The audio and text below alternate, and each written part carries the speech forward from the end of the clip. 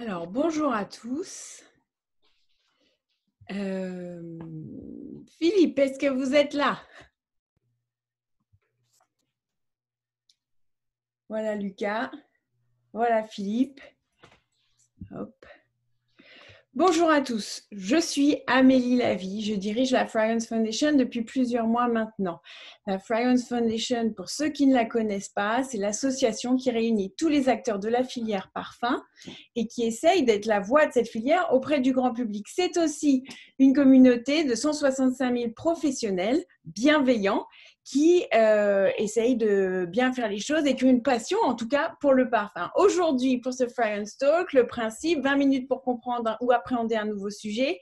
Là, c'est peut-être la cinquième ou sixième fois que l'on se voit. Philippe, bienvenue, Philippe Jourdan. Donc, je rappelle que vous êtes euh, partenaire chez Promise Consulting et surtout expert en économie.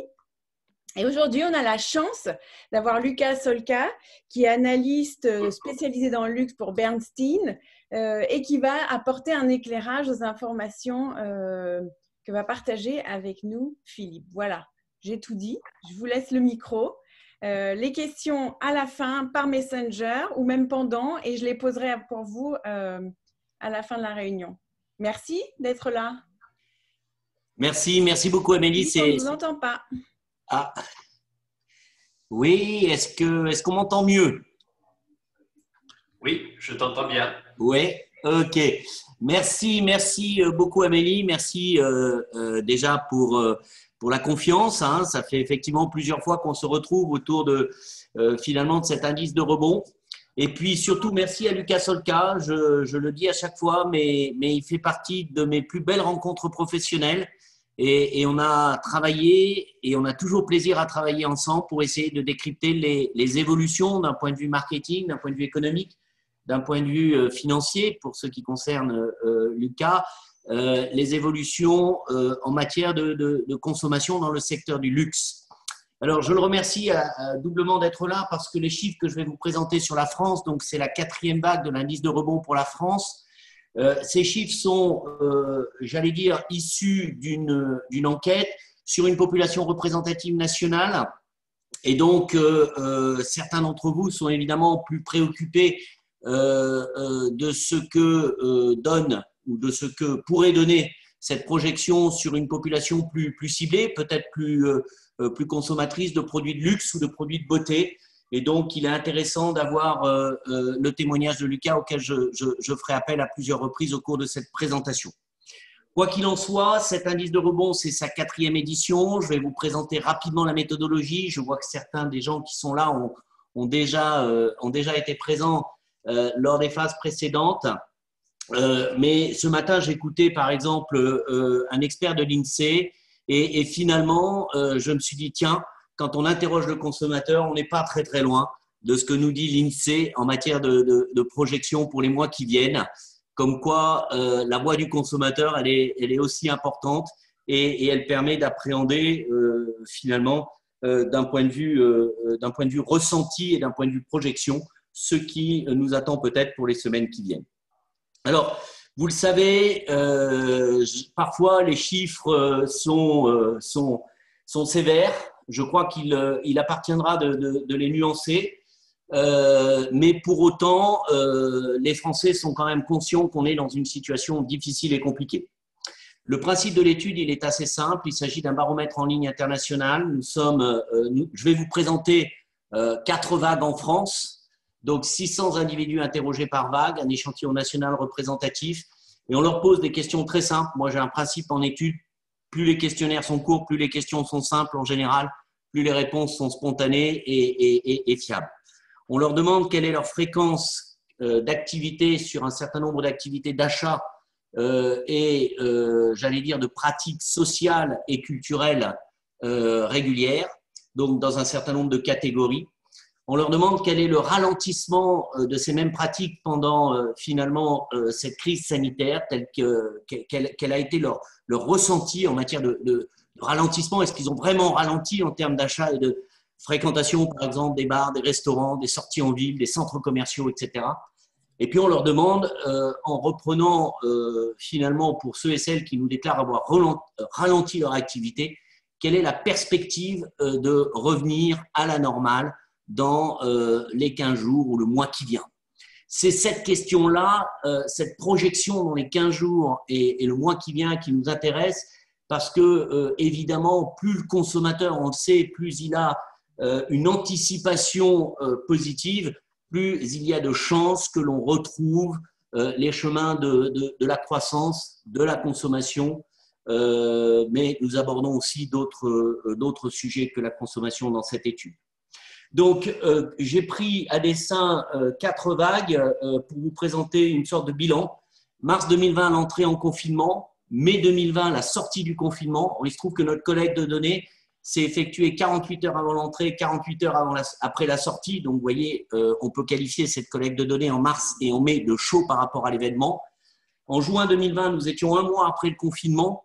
Donc, euh, y avait-il eu ou non consommation de rattrapage? Et enfin, septembre 2020, une période importante, euh, évidemment, cette période de rentrée. Alors, rapidement, quels sont les, enseignements de, cette quatrième vague? Malheureusement, euh, j'allais dire, le, rebond épidémique hein, euh, et sans doute les mesures sanitaires annoncées, ainsi que la médiatisation autour de ces mesures, exercent pour l'instant, euh, au vu des résultats, un impact plutôt négatif sur les intentions, déjà les intentions de sortie, quels qu'en soient les motifs. On ne sera pas surpris, on a vu des mesures de fermeture, puis de réouverture partielle, puis de discussion entre ouverture, fermeture à Paris, à Marseille, dans une zone rouge, etc., etc. Les Français, quand ils se projettent, nous disent clairement que euh, pour ce qui est des sorties en ville, des sorties au restaurant, des sorties culturelles, voire des visites de centres commerciaux, eh bien, euh, vous voyez, ils ne sont au mois de septembre, on va dire que 41, 42. Excuse-moi, est-ce que tu vas partager ton écran? Euh, ah oui, absolument. Et si j'ai oublié de le faire, c'est ça marche moins bien. c'est totalement de ma faute. ah, c'est beaucoup plus clair comme ça. Ah bah oui, bah oui, parce que vous le voyez, ils ne sont, si je suis le seul à voir. bon, vous voyez qu'effectivement, les Français ne sont que 41%, 42, 36 et 43% à penser que dans les 15 jours qui viennent, ils retrouveront leurs activités de sortie en ville, de sortie au restaurant, de sortie culturelle ou de visite de centres commerciaux. J'allais dire, on n'apprend peut-être pas grand-chose à la lecture de, ce slide, même si j'ai plaisir à le partager, Amélie. Euh, il suffit parfois de se, pencher, euh, de se pencher sur le balcon, de regarder l'activité dans la rue, euh, de regarder certaines activités sociales après les heures de travail effectivement, elles ont ralenti, les Français le, sachent, le savent, pardon, et pour l'instant, ils n'envisagent pas euh, un retour à la normale. Alors, de retour de vacances, les Français se montrent également plutôt sceptiques sur la possibilité de pouvoir se déplacer en toute liberté dans les semaines qui viennent. Là aussi, ce n'est pas une grande surprise. Hein. Euh, on sait que en matière de transport aérien, la situation est encore extrêmement euh, tendue. Euh, c'est évidemment lié euh, aux restrictions de déplacement entre pays. Euh, je rappelle que la vraie difficulté quand on veut se déplacer, c'est de trouver un vol ou une compagnie, mais c'est aussi finalement de répondre à deux contraintes, celle du pays que l'on quitte, avec l'assurance ou non de pouvoir revenir avec ou sans quarantaine, et celle du pays vers lequel on va, avec des règles sanitaires également particulières. Donc le déplacement à l'étranger, vous voyez, moins d'un tiers des Français envisage de euh, finalement euh, de revenir, euh, de, se déplacer à nouveau à l'étranger comme il le faisait par le passé.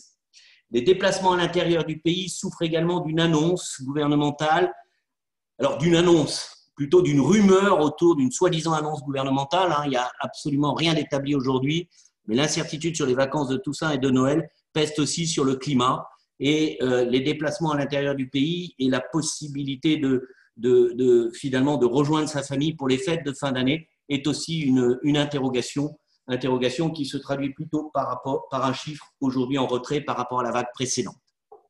Alors, qu'en est-il des achats? Alors, euh, une bonne nouvelle quand même, un petit plus, les achats de produits de luxe et la projection des achats de produits de luxe. Euh, donc, euh, les produits de luxe ont, fini de chuter pour ce qui est de l'anticipation de reprise on a une stabilisation, voire une légère hausse.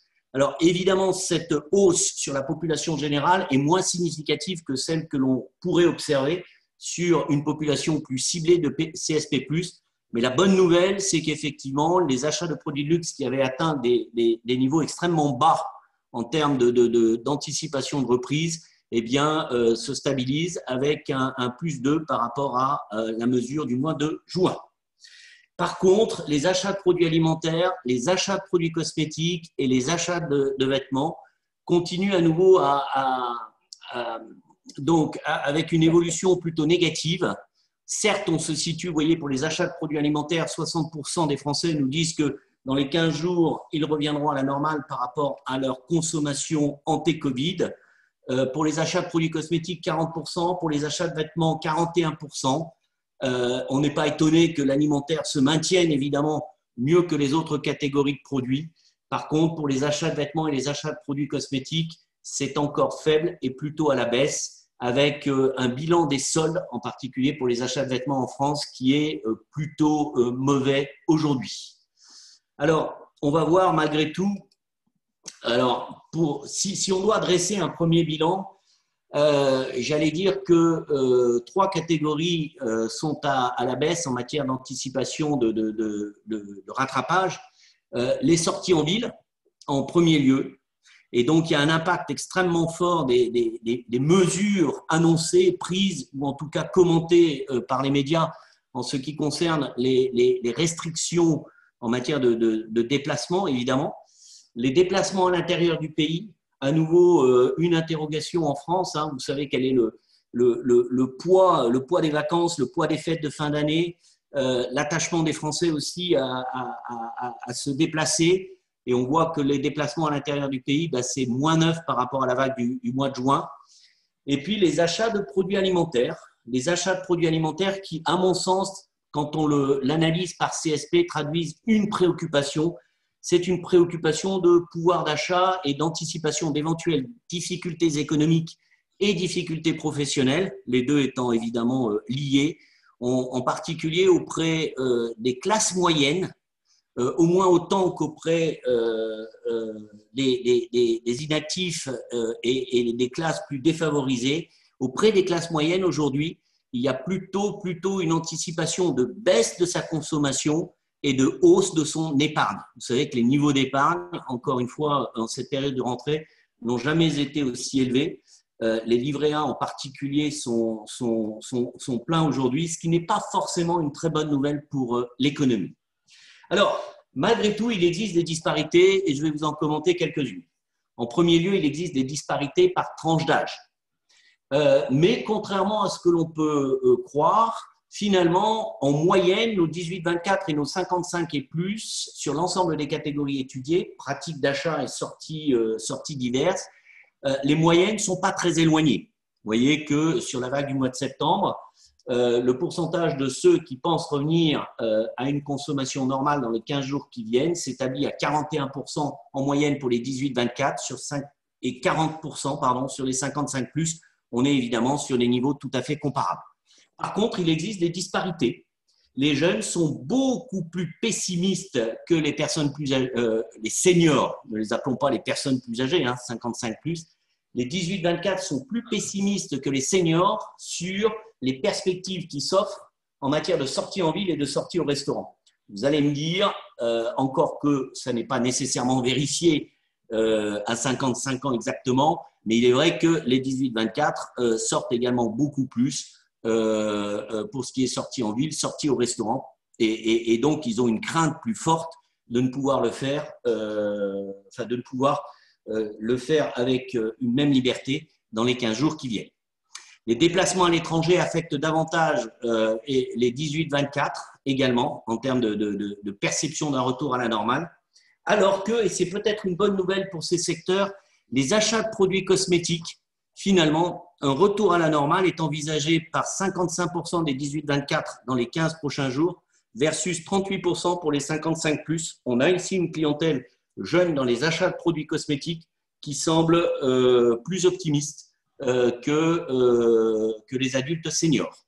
C'est la même chose pour les achats de vêtements. Et là, la différence est, énorme. 74% des 18-24 nous disent que finalement, en matière d'achat de vêtements, ça ne changera pas grand-chose. Ils pourraient revenir euh, à leurs pratiques antérieures anti-Covid rapidement, 74%, versus 39% seulement des 55 plus. Là, à nouveau, une, me semble-t-il, une différence intéressante. Alors, je voudrais simplement vous rappeler euh, euh, le comparatif sur les, sur les quatre vagues qui montre à l'évidence, j'allais dire que euh, on a trois vagues globalement assez comparables.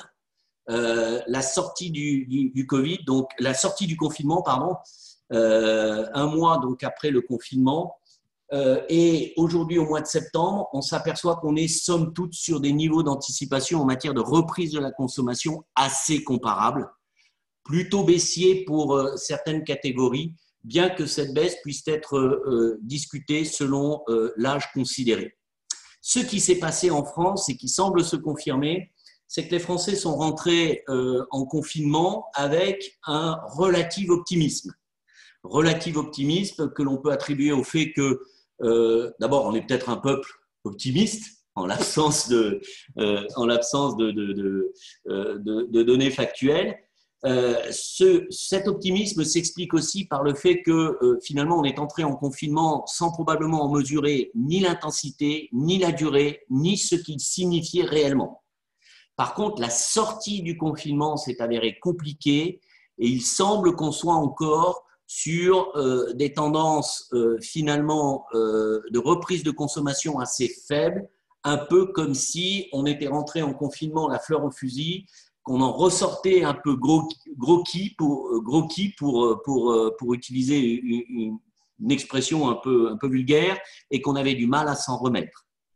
Alors, je vais peut-être, sur, vous voyez, sur les achats de produits de luxe, hein, donc qui était le seul secteur sur lequel on avait une retombée, une remontée, pardon, plus de points, bien qu'à des niveaux assez faibles sur le total population. Je vais peut-être demander à Lucas de nous donner un éclairage euh, sur une population plus ciblée de clients de luxe qui permet évidemment de, nuancer les conclusions que l'on peut avoir sur une population plus générale.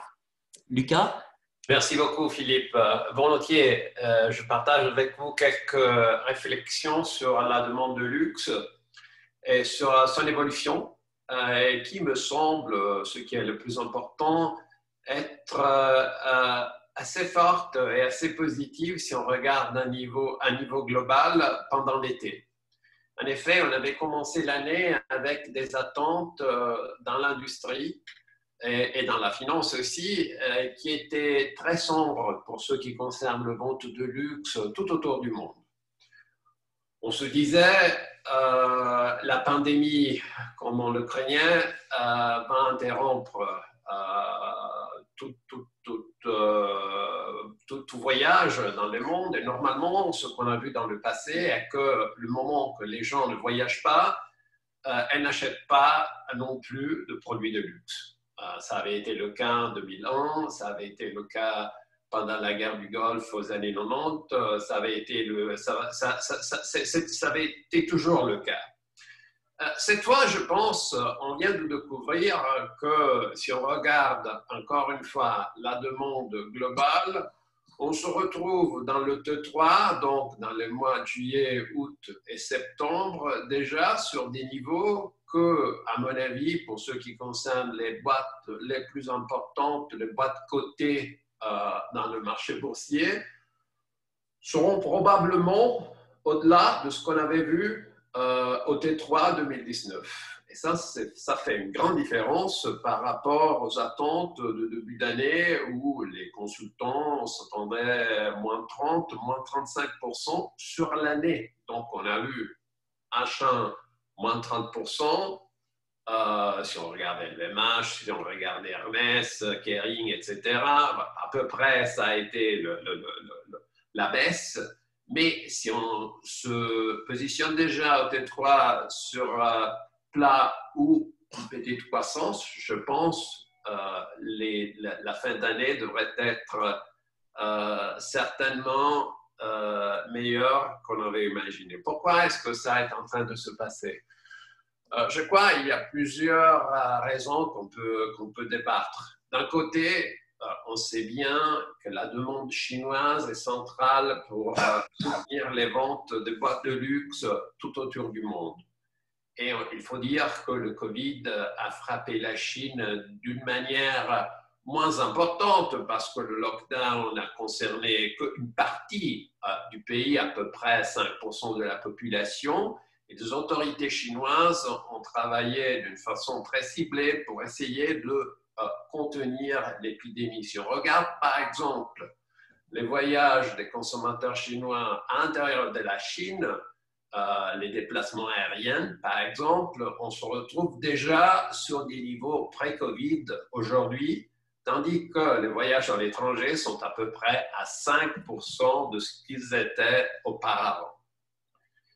Euh, de l'autre côté, je pense, et ça c'est un peu l'évidence qui euh, me semble sortir de cette recherche ciblée aujourd'hui sur les Français, les riches euh, ou disons le, segment le plus fortuné de la population à l'ouest, donc en Europe et aux États-Unis, est probablement moins touché.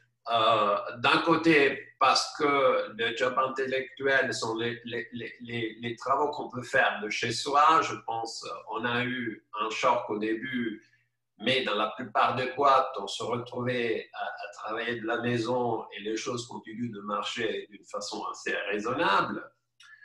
Euh, de l'autre côté, je pense que ces gens-là, ces familles-là, ces foyers-là ont épargné pas mal d'argent euh, pendant l'été parce qu'on n'a pas fait de vacances à l'étranger, on n'a pas payé de, euh, de restaurant, on n'est pas sorti autant qu'avant, on n'est pas allé dans les hôtels, donc on a eu peut-être un peu plus d'argent pour se faire du bien, pour s'acheter quelque chose. Et je crois que euh, dans le bilan, le pouvoir d'achat euh, du segment plus fortuné n'a pas nécessairement trop euh, baissé. Je pense que ça est quelque chose qui est en train de ressortir quand on parle avec le boîte de luxe pour ce qui concerne la demande euh, domestique en Europe et aux États-Unis, bien sûr, si on regarde les ventes par pays, si on, par région, si on regarde les ventes en Europe, on verra une baisse très conséquente parce qu'il n'y a pas de touristes qui arrivent de Chine, de Japon, des États-Unis, etc.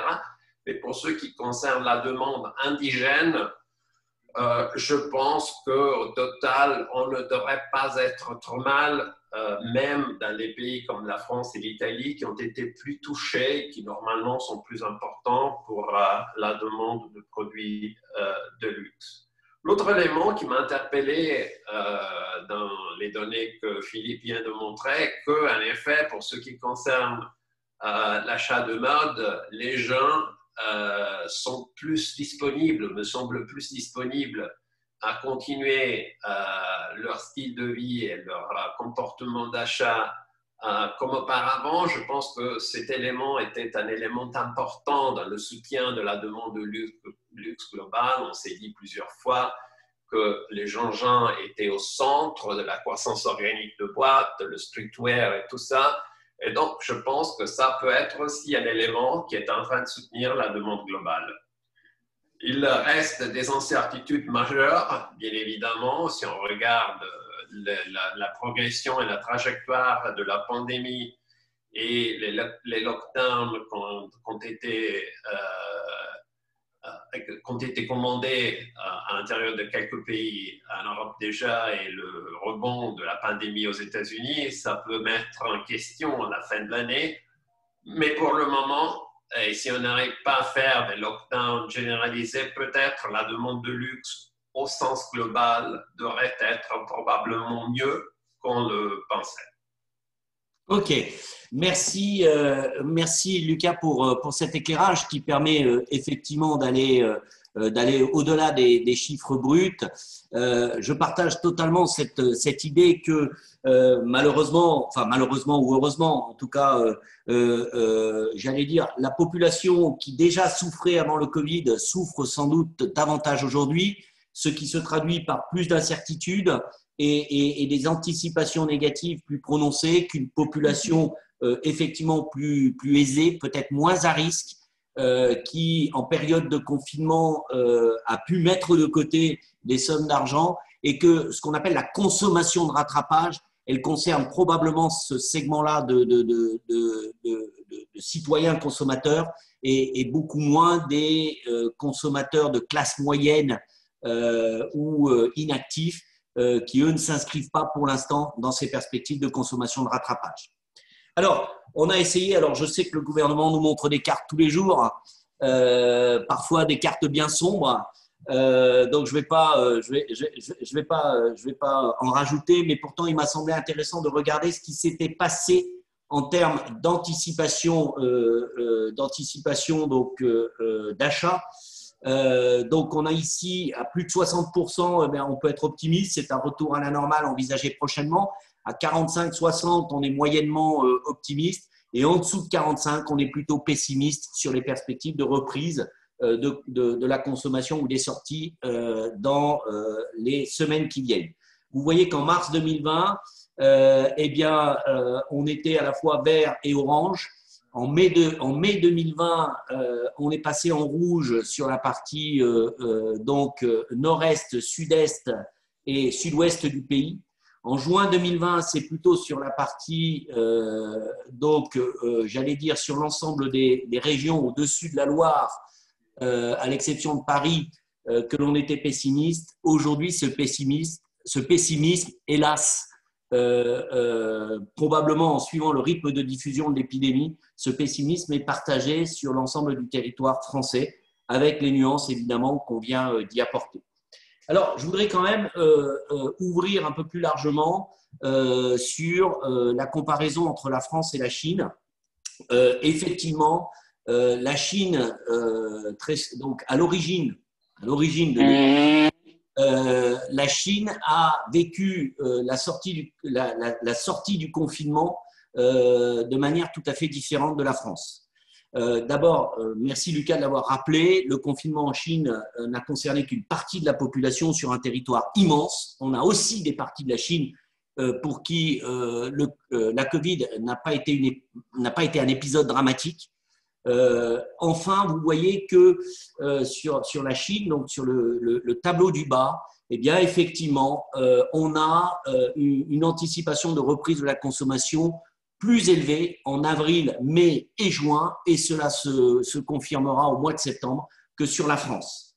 Donc, euh, il est des parties de la Chine aujourd'hui avec lesquelles euh, nous travaillons qui nous disent très clairement que euh, la pandémie est derrière eux. C'est d'ailleurs une annonce qui a été faite par le gouvernement, hein, que l'épidémie était terminée pour la Chine. Et c'est vrai que la reprise, hein, il y a quand même des, des signes, des signes très euh, donc des, signes très importants de reprise, euh, notamment de, reprise dans euh, la construction de centres commerciaux, dans l'aménagement des centres-villes, dans la restauration ou la construction d'un certain nombre de, de centre-ville dédiés au shopping, aux achats. Et, là, c'est un signe évident de, reprise économique que l'on espère évidemment vigoureuse. Simplement, euh, pour rappeler quelle pourrait être, euh, sans faire, j'ai vu que Christian Gattard était, était connecté, donc euh, c'est un ami prospectiviste et, je le remercie d'être là. Il est très difficile de faire de la, de, la prospective sur les perspectives de reprise, mais quels pourraient être les scénarios? Le premier scénario qui semble quand même se dessiner en France, c'est celui d'une reprise plutôt lente au global de la population. Hein, ce, que, vous avez ici, une courbe qui ressemblerait finalement au logo de Nike. On s'est enfoncé dans la crise et, on pourrait en ressortir peut-être moins vite que d'autres pays. Évidemment, la, courbe la plus favorable, c'est celle qui se dessine en bas à gauche. Une courbe en V, c'est ce que tout le monde espère. C'est d'ailleurs ce qu'une économiste, euh, donc euh, prix Nobel d'économie tout de même, euh, Madame Duflo disait, disait c'est pas très très grave si on s'est enfoncé de manière extrêmement violente dans la crise. Ce qui détermine l'impact d'une crise économique, c'est l'allure de la reprise. Et si cette reprise est aussi vigoureuse et si on a une belle courbe en V, somme toute, la, pandémie pourrait n'être qu'un mauvais épisode dans cette décennie. Et puis, par contre, les scénarios peut-être plus inquiétants, ce sont des scénarios où euh, euh, tous les pays se sont enfoncés euh, évidemment dans la pandémie, mais par contre, vous auriez des sorties qui pourraient être différenciées, hein, la fameuse courbe en K, avec des pays qui en sortiraient plus vite que d'autres. on pense évidemment aux pays asiatiques, par exemple. Il y a aussi aujourd'hui plutôt une incertitude sur les États-Unis et, sur certains pays d'Europe. Et, si on a un rythme de sortie de crise différencié, très différencié, on risquerait d'avoir certains bouleversements économiques, notamment avec des marques, euh, euh, par exemple européennes ou françaises, affaiblies, qui pourraient devenir euh, la cible d'acheteurs étrangers. Hein. d'acheteurs étrangers, on sait que certaines de nos belles marques, évidemment, ont toujours été convoitées par l'étranger, y compris dans les secteurs du luxe et de la beauté. Et puis la dernière, la dernière courbe, ben, c'est une courbe en, W avec une alternance de, de, de cycle haut et de cycle bas c'est évidemment pas ce que l'on souhaite, mais c'est pas totalement euh, exclu non plus. Voilà aujourd'hui ce que nous disent les économistes, euh, même si euh, les perspectives qui semblent se dessiner méritent d'être suivies dans les mois qui viennent, parce que encore une fois, on est sûr de rien. Cette, cette, cette épidémie et, son rythme de diffusion n'arrêtent pas de nous surprendre. Je voudrais quand même, euh, d'un point de vue marketing, essayer de dessiner quelques, perspectives euh, pour les marques, dont les marques de beauté, elles sont nombreuses aujourd'hui à nous suivre. Euh, il y a des choses extrêmement intéressantes dans les périodes de crise à faire. Moi, je pense que toute crise doit être vécue pour ce qu'elle est, un drame d'un côté, mais aussi une opportunité de l'autre. Opportunité pour que un certain nombre de changements puissent être opérés ou une accélération des changements. Certes, on assiste globalement à un retour à la frugalité et, ça peut s'inscrire comme une tendance durable. Et on sait que ce positionnement marketing peut être intéressant. Alors, ce retour à la frugalité concerne peut-être des CSP moins aisés, mais quoi qu'il en soit, le discours sur la frugalité, l'achat utile, l'achat essentiel, l'achat minimaliste, etc., peut aussi être un positionnement intéressant et, certains clients d'ores et déjà nous demandent de travailler sur euh, ce scénario. On peut aussi penser qu'après le marketing expérientiel, euh, qui a euh, tout de même été le marketing de la décennie écoulée, le marketing essentiel pourrait s'imposer. Qu'est-ce qu'on appelle le marketing essentiel? C'est un marketing qui va travailler d'abord sur ce que j'appelle l'essence quelles sont les, sens au sens valeur, mission de la marque? Quelle est sa vraie valeur ajoutée pour, euh, pour, pour le consommateur?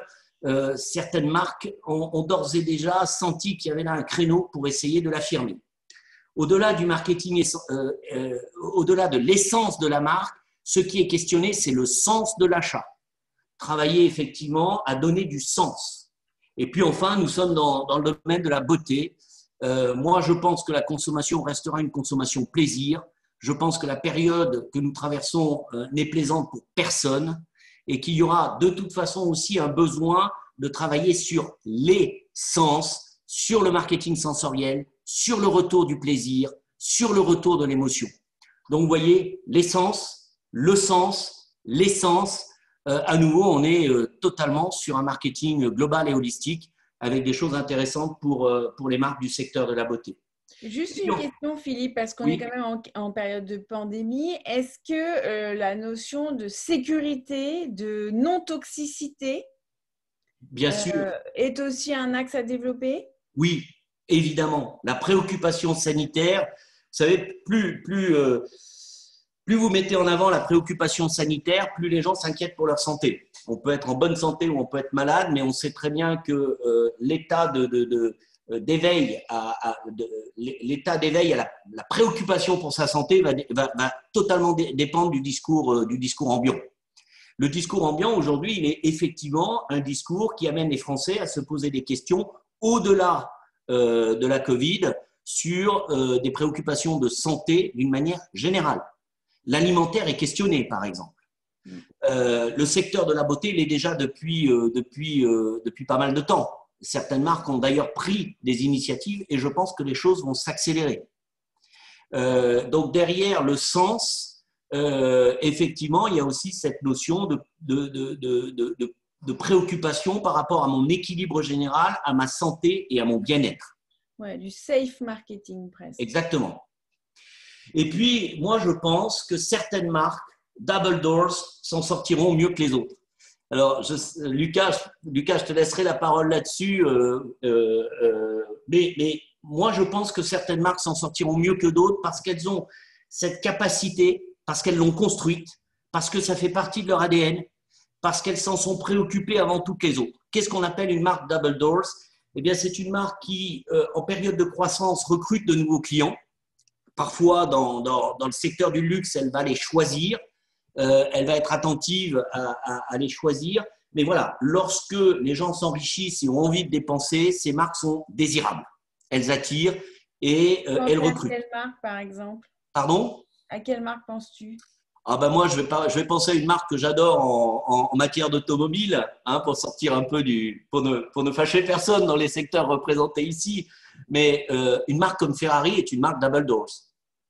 Ah, quand on gagne beaucoup, quand on gagne beaucoup d'argent, quand on a des perspectives d'en gagner encore plus, eh bien ma foi, euh, on songe à s'acheter une Ferrari. Par contre, elles ont une, une autre euh, euh, caractéristique qui me paraît extrêmement intéressante lorsque la crise est là, eh bien, certes, ces clients qu'on pourrait qualifier peut-être de nouveaux riches, certes, ces clients-là vont différer, sinon procrastiner euh, leur achat. Ils vont pas acheter. Mais par contre, cette marque-là, elle a cette capacité à garder ce cœur de clientèle fidèle, euh, acheteurs euh, finalement de Ferrari, de gens moins affectés par les évolutions économiques. vous savez, on peut, on peut être riche et demeurer riche même en période de crise, d'accord? On peut être très riche et l'être sans doute un peu moins, mais suffisamment pour continuer à, consommer et à acheter. Et donc, ces marques, elles ont cette capacité à avoir un cœur de clients fidèles euh, et, ces clients continueront euh, à acheter cette marque. Alors, si vous voulez, ça joue le rôle d'amortisseur. En période de croissance, euh, évidemment, on s'intéresse à elles parce qu'elles recrutent de nouveaux clients. Et en période de crise profonde, elles résistent mieux que les autres. J'allais dire, sur un plan, pour, pour, pour, pour, des analystes financiers ou des investisseurs, elles sont doublement intéressantes. Dans cette perspective-là, certaines marques de beauté ou certaines marques de luxe devraient s'intéresser sur cette stratégie. Comment devenir une marque Double Doors Peut-être que Lucas, tu, tu peux nous en dire plus. Certainement, je pense que tu touches euh, un élément très important. Je pense qu'il y a aussi des marques qui sont capables, euh, comme euh, elles gèrent la croissance et limitent la quantité de produits qui est disponible dans le marché, d'utiliser ce réservoir de désirabilité et de reprendre des clients qui normalement n'arriveraient pas à acheter des produits. Je pense que si on regarde dans les montres suisses euh, Rolex, euh, plutôt que Patek Philippe ou de Marc Piguet, euh, elles devraient s'en sortir assez bien parce qu'elles ont une liste d'attente, elles ont une liste d'attente qui, bon, qui est, qui est bon, un, bon, un bon contrepoids d'un ralentissement de la demande. Euh, je pense que euh, si on regarde la maroquinerie et si on regarde la mode, probablement Hermès est à peu près dans la même, dans la même situation. Si on pousse vraiment beaucoup euh, dans le marché, si on arrive à vendre tout ce que le, le marché demande, alors à ce point-là, il y a moins de marge de manœuvre. Je pense que c'est un élément aussi à considérer. Donc, euh, maintenir euh, une euh, impression d'exclusivité, de rareté est probablement quelque chose d'important oui. pour gérer bien un ralentissement. Oui, en, fait, on, a travaillé ensemble avec Lucas à, lors de précédents baromètres à, classer les marques dans le secteur du luxe sur finalement deux indicateurs assez simples, la notoriété, la réputation d'un côté, la désirabilité de l'autre. Et on s'est aperçu qu'on on avait, tu te souviens Lucas, quels que soient les pays, on a une jolie courbe en U. Euh, d'un côté, des marques euh, peu connues mais très désirables. Et, ces marques peu connues mais très désirables, elles ont une vraie capacité à garder euh, finalement une clientèle certes peu nombreuse mais très fidèle parce que justement ces clients-là vont vers ces marques parce qu'elles sont désirables et peu connues. Vous avez ensuite de l'autre côté de la branche du U des marques très connues et très désirables. Celles-ci s'en sortent bien ou s'en sortiront mieux que les autres parce qu'elles demeurent iconiques et dans le domaine du luxe. On pense évidemment à des Chanel, à des Hermès, euh, à des marques comme Dior. Par contre, vous avez, euh, bah, j'allais dire, au, fond du canyon, on l'a appelé la loi du canyon, hein, vous avez au fond du canyon des marques moyennement désirables, moyennement connues, et probablement la sortie de crise sera plus compliquée pour ces marques-là, parce que ce ne sont pas vraiment, elles ne réunissent pas les conditions pour être des marques double doors. Donc en fait, si je faisais un vrai parallèle avec la parfumerie, vous avez bon espoir euh, d'une jolie sortie de crise pour les maisons patrimoniales et euh, la parfumerie d'auteur. Et toutes les maisons qui se trouvent un peu entre les deux vont devoir vraiment travailler la quête de sens, le retour au safe marketing, le marketing essentiel pour pouvoir euh, s'en sortir. Tout à fait, Amélie. Ça demande à être confirmé dans les mois qui viennent, mais je suis à peu près persuadé que c'est la direction que cela va prendre. Eh bien, je vous remercie. Euh, on a dépassé de déjà 10 minutes, donc il est temps de passer aux questions. Euh, si vous avez des questions, vous pouvez d'ores et déjà me les envoyer par Messenger. Moi, j'en ai noté quelques-unes parce que ça fusait pendant le, pendant le talk. Euh, donc, on l'a compris, il y a une vraie disparité quelque part. Euh, la différence de pouvoir de consommation se creuse entre les, les, les CSP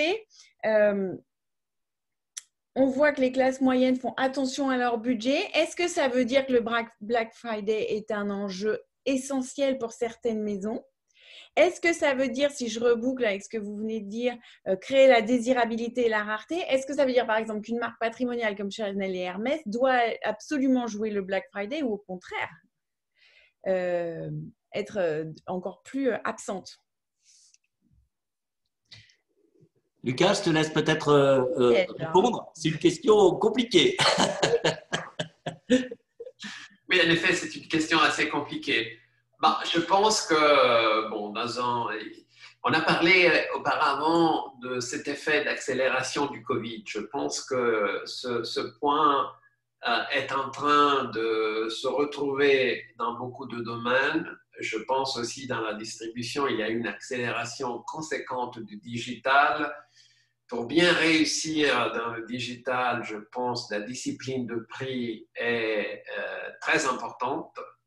Donc, je pense que les, les, marques les plus importantes devraient être prudentes pour ce qui concerne les promotions et les rabais.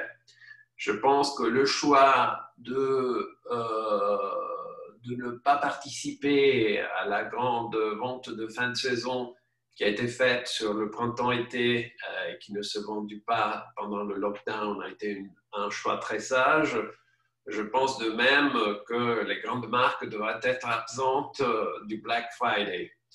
Euh, parce que facilement, si on rentre dans une spirale de rabais, de promotion, euh, on risque d'abord de ne pas pouvoir vendre à full price dans les, dans les réseaux de magasins propres. De l'autre côté, je pense, on risque aussi d'animer euh, la perception de l'équité de la marque. Mm. Quelque euh, part, c'est le prix qui crée la valeur. Oui, d'une certaine manière, je pense que oui, dans l'industrie du luxe moderne, je publie un papier qui s'appelle Selling Exclusivity by the Million, donc vendre l'idée de l'exclusivité par million. Je pense que la discipline de prix à côté de la qualité de la distribution sont deux éléments majeurs pour maintenir une perception de rareté et d'exclusivité le moment qu'on est en train de vendre, si vous êtes Chanel, si vous êtes Vuitton, à plus de 10 milliards d'euros euh, chaque année. Donc, euh, c'est quelque chose de difficile euh, à concevoir et encore plus euh, à réaliser. Je pense en effet que euh, valeur et prix dans la stratégie des marques, c'est quelque chose qu'on désire de fusionner dans la tête des consommateurs. Prix élevé, valeur élevée. Ça, c'est qu'on est en train d'essayer de, de maintenir et je pense que chaque fois qu'on se retrouvait par exemple aux États-Unis avec les grands magasins, chaque fois que quelqu'un est en train de faire des rabais conséquents, on risque de, euh, de, de, casser la cette, cette, stratégie et de ne pas y arriver. Oui, le, risque, si on abîme cette stratégie, c'est effectivement, bah, vous l'avez compris, de devenir euh, euh, moyennement désirable et de ne plus réunir à ce moment-là euh, ces conditions favorables. On ne sera jamais une marque double doors si on abîme euh, cette, cette, partie de réputation fondée sur le bon équilibre entre la valeur et le prix.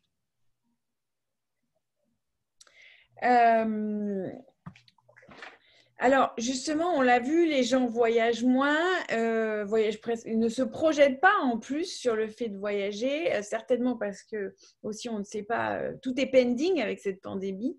Est-ce que ça veut dire qu'on va aller vers une consommation qui, elle aussi, sera cloisonnée? C'est-à-dire que les Chinois vont acheter chinois, les Américains vont acheter américains et les Européens vont acheter européens Est-ce qu'on peut craindre une espèce de euh, conservation, euh, de chauvinisme de la consommation?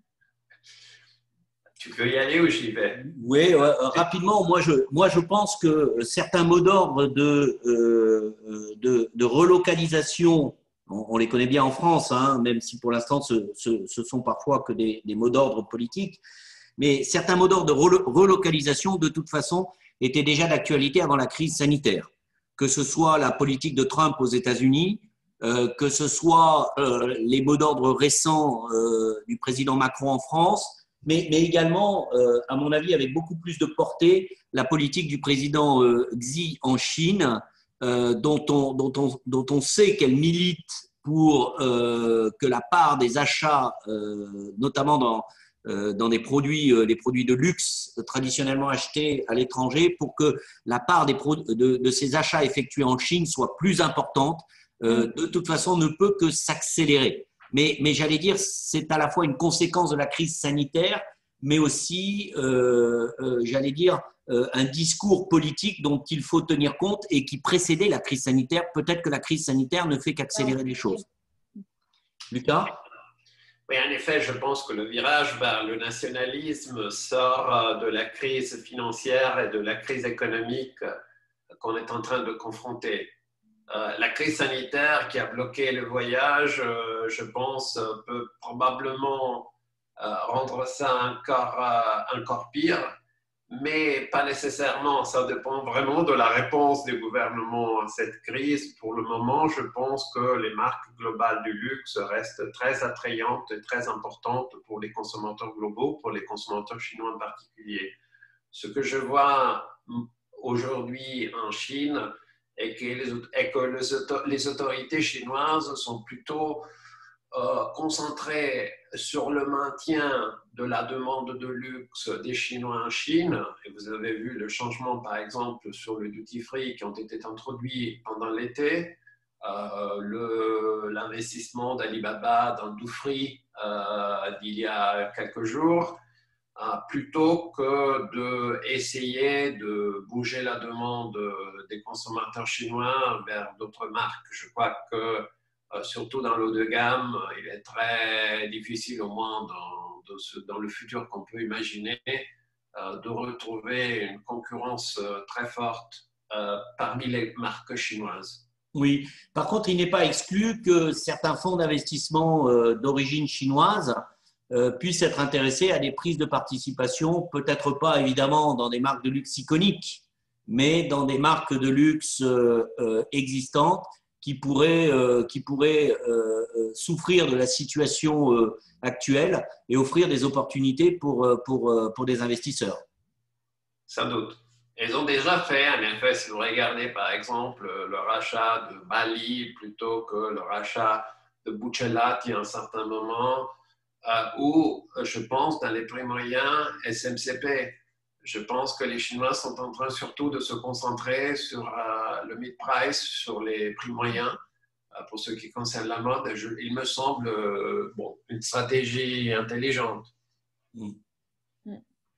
Et justement, et pour conclure, les, on a vu que les, les catégories socio-professionnelles les moins aisées n'avaient pas eu recours à une consommation de rattrapage. En tout cas, elles ne s'étaient pas rattrapées sur les produits de luxe. Est-ce qu'on sait dire sur quoi elles se sont rattrapées? Parce que c'est humain, après une frustration aussi longue. Euh, est-ce qu'on sait dire sur quoi elles ont, sur quoi c'est reporté leurs dépenses? Alors, leurs dépenses, leurs dépenses se sont reportées. Alors, leurs dépenses ont diminué et se sont pour partie portées sur l'épargne, épargne de précaution. D'accord? Donc ça, c'est un fait économique avéré en France notamment avec la hausse des placements sur, sur le livret A, dont on sait qu'il reste, il reste non pas une exception française, mais, une caractéristique bien française dans les périodes d'incertitude, on, euh, place euh, finalement son argent sur le livret A. En dehors de ça, on a, on a, des secteurs qui ont quand même mieux résisté que d'autres, euh, notamment les secteurs du bricolage, les secteurs de la décoration de la maison, les secteurs, ce serait intéressant de regarder les chiffres, par exemple, le découpage entre parfum d'intérieur et parfum pour soi. On sait que le parfum pour soi a souffert, mais le parfum d'intérieur, un peu moins. Euh, et donc, les marques qui euh, avaient cette, double, double, double offre et double positionnement euh, s'en sont mieux sorties que les autres. Dans le secteur de la beauté, si vous parlez maquillage, soins et parfums, vous n'avez pas les mêmes, réalités. dans le soin, certaines redécouvertes d'une routine de soins euh, peut-être un peu oublié parce qu'on n'avait pas le temps, ont favorisé certains produits. Alors, pas forcément des produits qui font des gros volumes, mais on les a redécouverts, les masques en particulier. Euh, inversement, euh, le maquillage a plus souffert parce que le maquillage, une partie de, la motivation pour se maquiller, c'est effectivement la séduction, c'est la sociabilisation, c'est le contact avec les autres ou c'est des occasions de sortie qui sont venues à manquer. Donc oui, il y a eu des glissements, mais quand même globalement, globalement en France, c'est plutôt au global de la population un tassement de la consommation. Ben, merci Philippe. Lucas, est-ce que vous voulez rajouter quelque chose? Moi, je pense qu'on n'a pas parlé de maison de vacances, euh, maison de campagne. Je pense que si on regarde probablement le segment plus riche de la population, ça aussi a été un cible des dépenses euh, d'amélioration. J'ai vu les maisons de vacances françaises et italiennes cet été remplies comme euh, jamais auparavant. Oui, absolument. Alors, euh, c'est vrai qu'on pourrait glisser, vous savez, vers, vers cette répartition américaine hein, euh, des dépenses de luxe qui profitent davantage aux maisons. aux États-Unis, on a l'habitude de dire quand on a beaucoup d'argent, on achète une grosse maison, on achète une grosse voiture, on achète un gros bateau. En France, on était plutôt sur le soft luxury pour une proportion plus importante de ces dépenses de luxe. Mais, mais, c'est vrai que le secteur, je, je, disais que le secteur de la, la, location et la location entre particuliers de, de, maisons de, luxe se porte plutôt bien. En France, en tout cas. Eh bien, merci beaucoup, Philippe. Merci, Lucas, d'être venu euh, nous apporter votre éclairage. Les amis, je vous remercie d'être euh, venus, d'être restés un peu plus longtemps que d'habitude. Je vous rappelle, demain soir, 18h, sur YouTube, les Fragrance Foundation Awards. J'espère que vous serez nombreux euh, pour cette version digitale. Euh, et bien, je vous dis à demain. Merci. À demain, Amélie. À demain. à demain à tous. Bonne journée.